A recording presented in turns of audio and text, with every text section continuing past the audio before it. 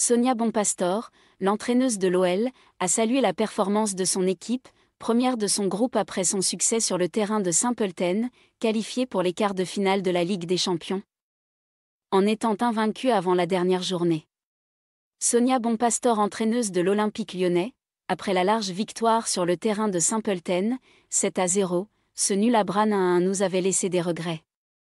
Il y avait aussi un match aller 2 à 0 où on avait manqué de justesse technique. Ce jeudi soir, on avait envie de faire une belle performance sur plan technique, j'avais insisté sur ça dans ma causerie. Dans les situations de centre, on doit avoir plus de justesse. Mais on a marqué cette but, il y a des choses très positives à ressortir de ce match. 43 tirs à 0 De mémoire? Je n'aurai pas de référence à vous sortir, c'est déjà arrivé d'avoir une grosse domination, ça doit faire partie des matchs où la domination est totale on n'a pas du tout été mis en danger. Cette équipe n'a pas du tout existé, c'est aussi dû à la qualité de notre performance. On voulait cette première place, on était dans un groupe où on était favorite.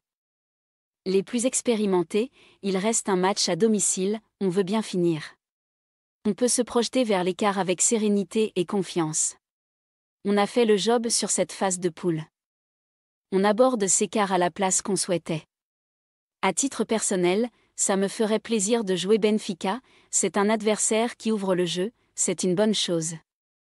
Dans le meilleur des cas, il faudrait éviter le groupe du PSG. Après, ça peut être Aken, Benfica, ces équipes ont moins d'expérience, mais face à nous, elles auront une énorme motivation.